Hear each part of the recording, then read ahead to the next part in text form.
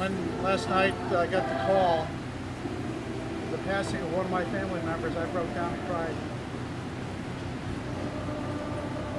Because I lost a family member. He's a Laker, as we all are. But I felt that last night. I remembered that conversation with that mom. And you know, I, she was proud of, of her son being here, as I am so proud to be part of you all. And I know that we were able to share that bond. It, it's it's a, maybe a silly game, but you know it's the it's the camaraderie that we have together. I've been known to lace up my sneakers every so often and uh, play down to the rec uh, myself.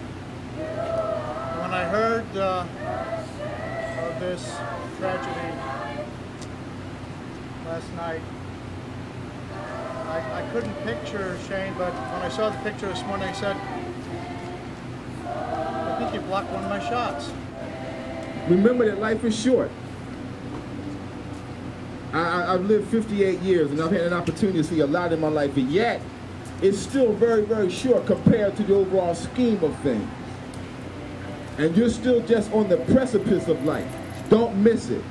Don't waste your time. Because time is precious. This time that you have here in school, this time that you have with making friends, make the most of every single moment.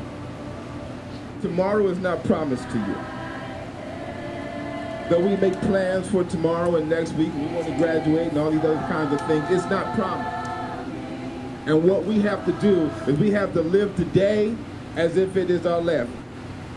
In the very scheme of things, whether you live 21 or 65, that's your life. And the question you have to ask yourselves is, as your life goes by, what kind of fragrance will you leave? For Shane only lived 21 years, but his life left a sweet smelling savor in the lives of those that he touched. Because the truth of the matter is, life for you and life for me is nothing but a vapor. God bless you.